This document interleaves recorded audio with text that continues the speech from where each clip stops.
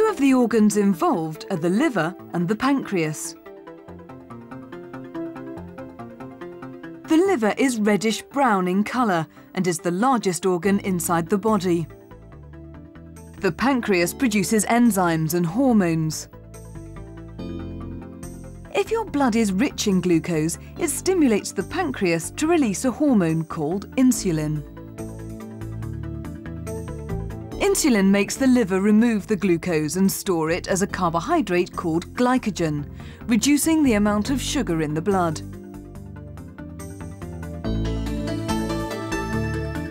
Vigorous exercise also affects the level of glucose in your blood. When your muscles are working hard, they're using glucose as a source of energy. The blood sugar level of our magazine reader rises and falls gently. The bike rider's sugar level falls more dramatically. But what if he kept on going? What would happen if too much glucose was removed?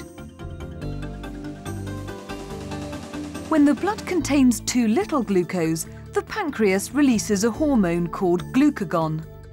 This makes the liver convert some of its stored glycogen into glucose and increases the blood sugar content, bringing the glucose level back to normal.